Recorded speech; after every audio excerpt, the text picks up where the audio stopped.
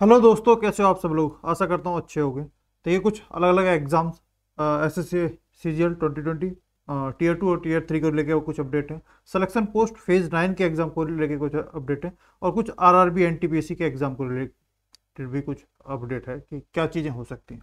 और क्या S S C tier three ये थ्री है? टीयर टू तो है ही है, लेकिन टीयर थ्री टीयर थ्री क्योंकि जो पोस्ट का सिलेक्शन पोस्ट का जो नोटिस आया, उसके बाद जो सबसे बड़ा क्वेश्चन उठ रहा है, ये उठ रहा है कि S S C C G L twenty twenty tier three का क्या होगा? आइए, आज इस बारे में बात करते हैं, काफ़ी कुछ आपको जानने सीखने को मिलेगा। तो चलिए स्टार्ट करते हैं। देखिए, अभी आप देखेंगे कि S S C C G L 2020 के जो टीयर टू के जो एडमिट कार्ड स्टेटस हैं, वो अलग अलग जोन जो रीजन है अलग अलग उनकी उनकी वेबसाइट्स पर रिलीज़ होने स्टार्ट हो गए, जिसमें आप देखेंगे डब्ल्यू आर रीजन का आ गया है वेस्टर्न रीजन का साउदर्न रीजन का आ गया है, और अभी अभी आज शाम को एम पी आर रीजन का भी आ गया था। और जैसे ही अपडेट आते रहते हैं जो भी एडमिट कार्ड स्टेटस मैं टेलीग्राम पर डालते रहता हूँ। टेलीग्राम पर सेडुलस चौधरी से मिल जाऊँगा। लिंक डिस्क्रिप्शन में मिल जाएगा। बाकी आप सेडुलस चौधरी से आप स्टार्ट करोगे। S E D U L O U S sedulous Chaudhary से स्टार्ट करोगे सर्च करोगे। टेलीग्राम पर वहाँ पर सर्च करके मिल जाऊँगा। ठीक है? तो जो भी अपडेट और भी बाकी रीजनों के आते रहेंगे वो वहाँ पर जैसे आते रहेंगे मैं, डालते रहूँगा। आप देखते रहिएगा अपने अपने अलग अलग रीजन होंगे ठीक है? तो ये ज़रूर कर लीजिएगा। एमपीआर का इसका इसका आ चुका है। ठीक है? तो आपको बिल्कुल रेडी रहना है। अब बात आती है जी, बहुत एक इंपॉर्टेंट अपडेट आया नोटिस आया अभी अभी आज शाम को ही, थोड़ी देर पहले ही एसएससी ने नोटिस डाला सिलेक्शन पोस्ट फ़ेज़ नाइन का जो 2021 का एग्ज़ाम है, उसके रिगार्डिंग इन्होंने बोला कि जनरल इलेक्शंस के जो लेजिस्लेटिव असेंबली अलग अलग विधानसभा चुनाव होने वाले हैं, जो पाँच राज्यों में, उस वजह से इन्होंने सिलेक्शन पोस्ट का जो एग्जामिनेशन है फ़ेज़ नाइन के, जो कि दो फेबररी 2022 से 10 फरवरी 2020 के बीच में होने रहे थे। वो तीन राज्यों में वो पोस्टपोन कर दिए तीन राज्य कौन कौन से हैं? उत्तर प्रदेश, उत्तराखंड और पंजाब। इन तीन राज्यों में जिनका भी ये सिलेक्शन पोस्ट का एग्ज़ाम था, इनको पोस्टपोन कर दिया गया है। फ्रेश डेट्स जल्दी ही आपको बता दी जाएँगी। मतलब इन टाइम बताई जाएँगी। और साथ में इन्होंने अलग से जो बात बताई है कि बाकी और भी जितने भी स्टेट्स हैं, उन सब में दो फरवरी से दस फरवरी तक जो भी एग्ज़ाम है, वो होते रहेंगे।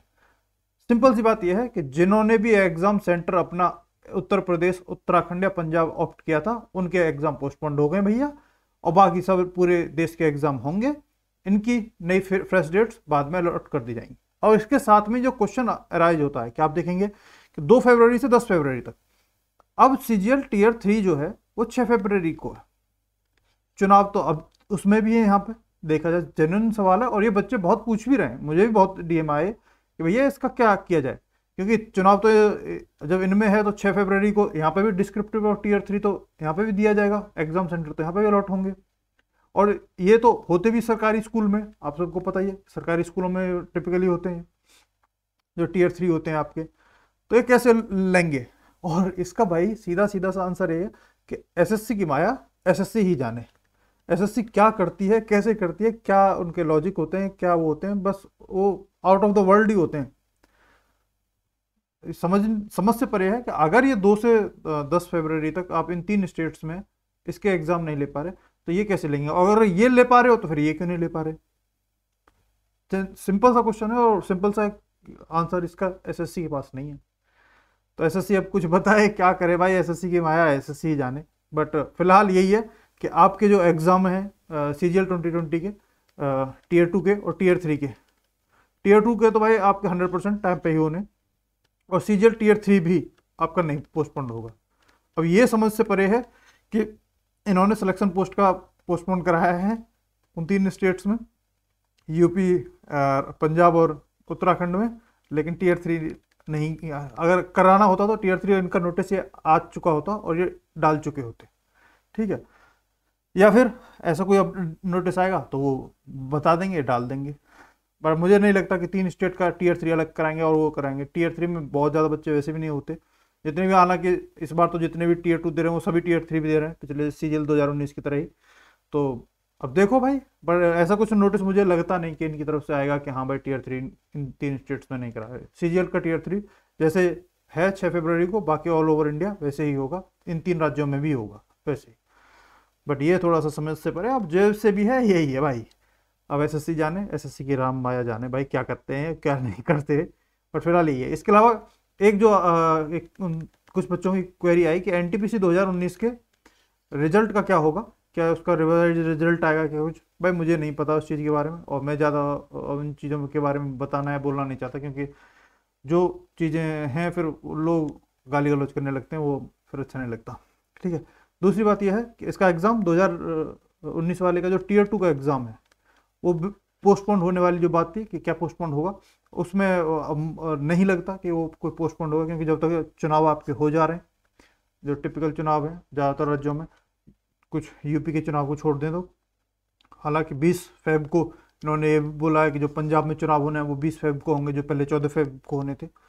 बट फिर भी जो उम्मीद है कि अब ये R R B N T P C का टीयर टू ये चौदह से अठारह फरवरी को ही लेंगे। इन्होंने सारे अपने जो रिज़ल्ट हैं, हर एक रीजन की वेबसाइट पर जो रिज़ल्ट डाले गए थे भी टीयर वन के, उसमें उन्होंने क्लियरली बोल दिया था कि हाँ भाई, हम अपने सारे उनके एग्ज़ाम चौदह से अठारह फरवरी के बीच में लेंगे। तो चौदह से अठारह फरवरी के बीच में ही आपके सारे एग्ज़ाम होंगे और सीजीएल के भी आपके टीयर टू और टीयर थ्री ऑन टाइम पे ही होंगे।